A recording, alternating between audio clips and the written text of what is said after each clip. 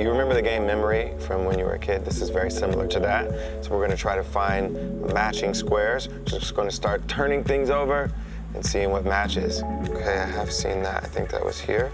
Yes. Whew. Hey, we're almost there. And then this one's here. And we have solved the puzzle.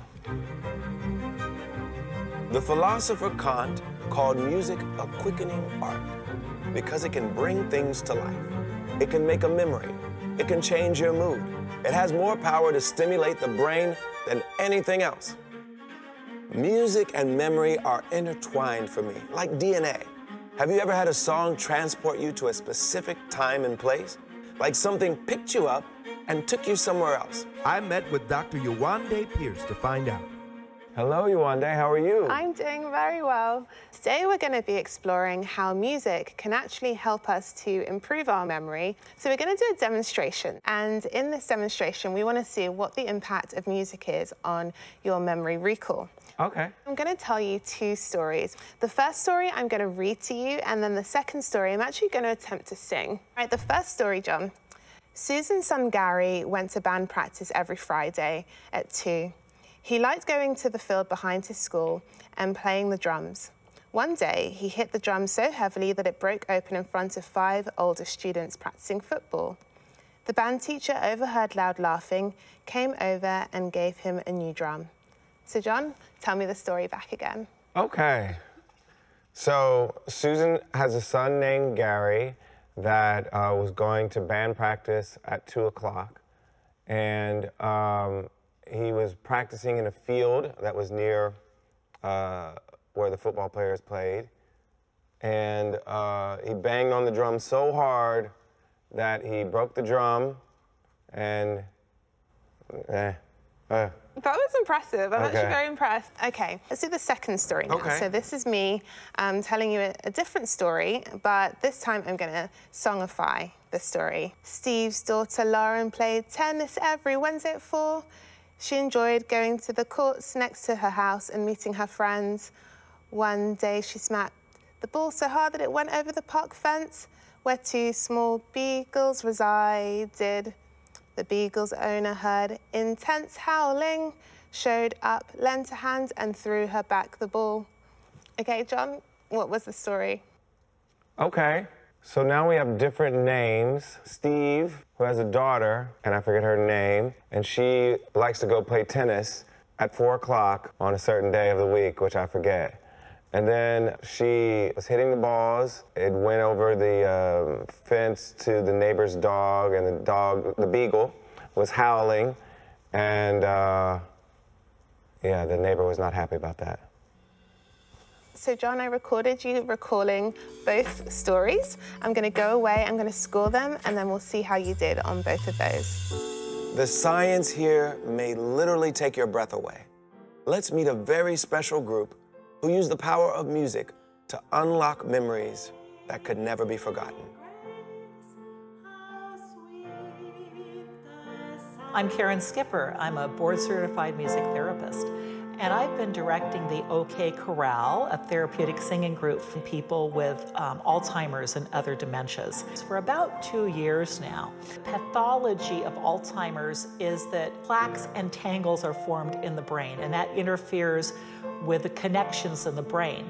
Music can actually bypass those plaques and tangles and hit new neural pathways. So it allows for neuroplasticity that, that can improve cognition and memory.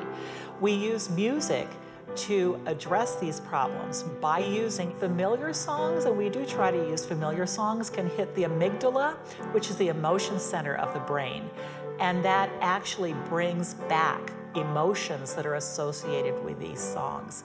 So it can hit people on the physical level, on the cognitive level, on the social level, and on the emotional level.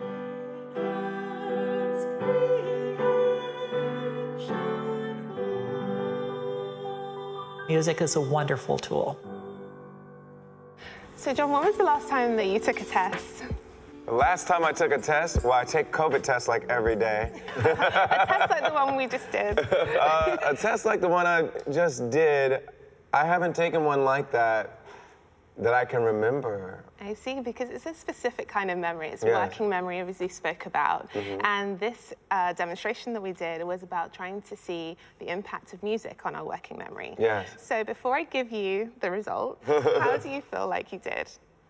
Some of the specifics I lost pretty quickly, but I, I kind of got the gist of it. When I looked at your results, you actually scored better when I sung the text and you were able to recall more of the sort of the gist of the story. Okay, good. Which is really interesting. So it shows the value of music and it uh, shows the value of music. helping me uh, use my working memory. Exactly. Yes. There are three main reasons for why, when I sung the text, it was easier for you to remember in Mm-hmm. terms of working memory. So the first is very simple, it's just rhyme. Mm-hmm. And so when we're in school, we learn the alphabet, we sing. I learned the 50 states in alphabetical order, and I still know the song. There you go. This Yes. is a perfect example how we can use that as a real life application. Yeah. So that's the first reason. The second reason is because of the idea of a, mnemonic anchor. So Mm-hmm. it's where you anchor the melody to information. So the brain is really sophisticated in processing music memory. So if you tie the two together, it can actually sometimes help to anchor that information. I mean, you have to learn a lot of lyrics. Uh-huh. Do you find that it's easier to sort of say them or do you always sing them? It's easier for me to sing them to remember them, particularly when I'm covering a song uh, that I didn't write.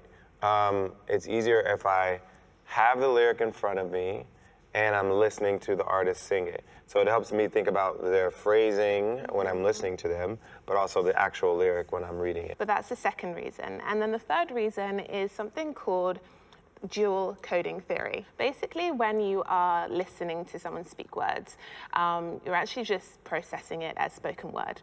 But when you're listening to someone sing words, then you're actually processing it by verbal and melody. So the melody is processed by this subsystem, and it gives you additional things to grab onto for your memory. Exactly. Okay. So that was working memory. Uh-huh. And so now I want to think about episodic memory. Do you know much about that?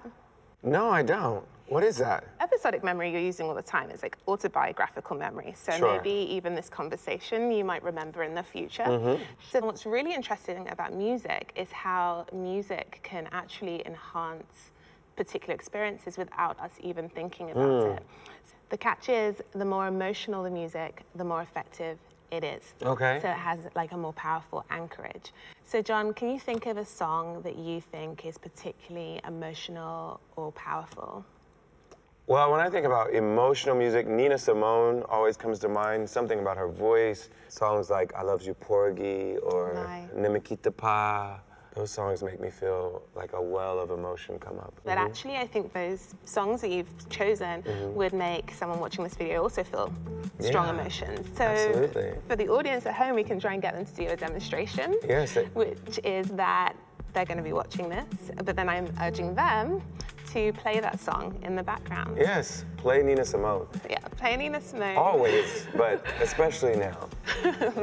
And then hopefully when they think about this a week or a month or maybe even a year from now, they'll recall this video that they were watching when they hear that song. Absolutely.